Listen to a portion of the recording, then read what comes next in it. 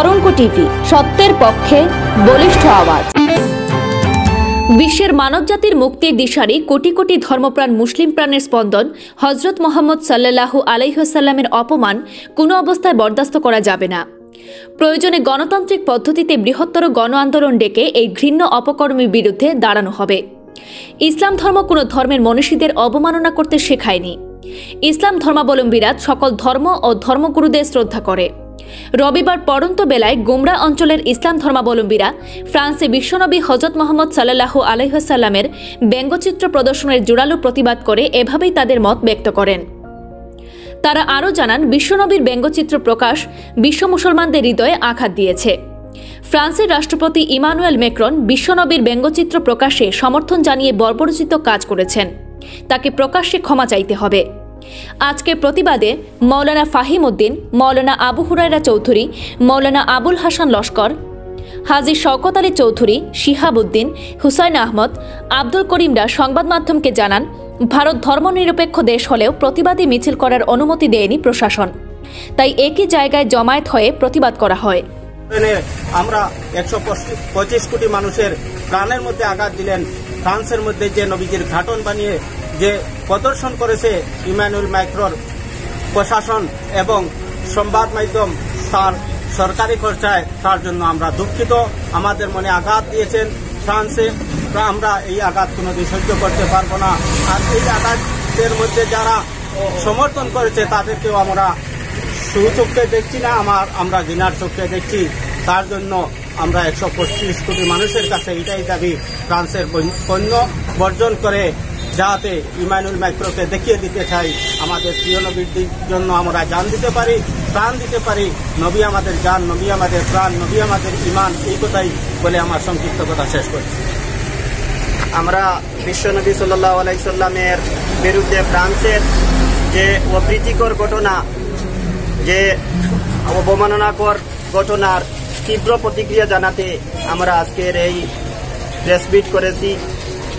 আমরা ধিক্কার জানাই ফ্রান্সের এই ম্যাক্রো রাষ্ট্রপতির যে কর্মকাণ্ডের উপর।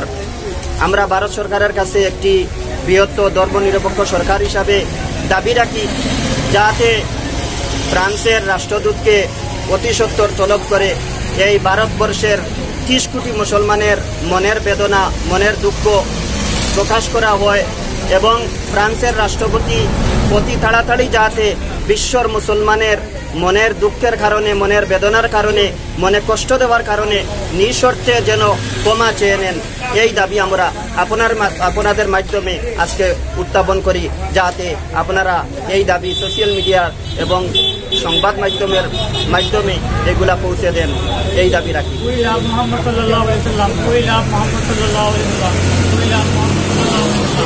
আজকের সম্মানিত বন্ধুরা আজকের এই প্রেস মিটের মাধ্যমে আমরা ফ্রান্সের রাষ্ট্রপতি ম্যাক্রনের কাছে এই বার্তা পৌঁছে দিতে চাই যে উনি সর্ব ভারতে শুধু নয়, পৃথিবীর মধ্যে মুসলমানদের দিলের মধ্যে যে আঘাত দিয়েছেন, তাই উনার কাছে আমরা এই বার্তা পৌঁছে দিতে চাই। উনি একজন রাষ্ট্রনেতা হয়ে কীভাবে শুধু এক ধর্মাবলম্বীদের অন্তরের মধ্যে আঘাত দিলেন, এর জন্য আমরা মর্মাহত, আমরা বেদনার্থ আমরা ক্ষুদান্বিত আমরা এর বহির বহির্প্রকাশ এই সংবাদ মাধ্যমের মাধ্যমেই আমরা ওনার কাছে পৌঁছে দিতে চাই যে উনি নির্লজ্জের মতো এমন ঘৃণিত একটি কাজ করলেন এক রাষ্ট্রপতি এক রাষ্ট্রনেতা হয়ে, যা আজ পর্যন্ত পৃথিবীর ইতিহাসে, এখন পর্যন্ত কোনো ইতিহাসে লিপিবদ্ধ নেই। তাই উনার যে ঘৃণিত কাজ করেছেন, লজ্জাহীনতার মতো, উনার কোনো লজ্জা সরম নেই, উনার কোনো কর্মকাণ্ড জ্ঞান নেই, ব্যক্তিত্ব নেই, এমন পরিচয় দিয়েছেন। এই বার্তা উনার কাছে আমরা পৌঁছে দিতে চাই, যাহাতে উনি ভবিষ্যতে এই রকম কোনো কাজ আর না করতে পারেন। তৎসঙ্গে এই বার্তাও পৌঁছে দিতে চাই, উনি যতক্ষণ পর্যন্ত আমার পৃথিবীর মুসলমানের কাছে নিঃশর্তভাবে ক্ষমা না চাইবেন, ততক্ষণ পর্যন্ত আমরা এই ফ্রান্সের যত পণ্য দ্রব্য আছে, ব্যবহারকারী যত জিনিস আছে, আমরা সব বয়কট করব। এবং আমরা প্রতিবাদ চালিয়ে যাব। শুধু এই কথা নয়, আমরা বিশ্বনবী মোহাম্মদ সাল্লাহ ইসলামের প্রেমে যারা মহিয়ান্বিত, তারা সবাই এক বাক্যে এবং এক কথার মধ্যে এটাই বলে দিতে চান যে, উনি আমাদের হার্ট উনি আমাদের দিল, আর আমাদের দিলকে নিয়ে খেলা করবেন না, অন্যথায় এর ফল ভালো হবে না। Bureau report, Tarang TV.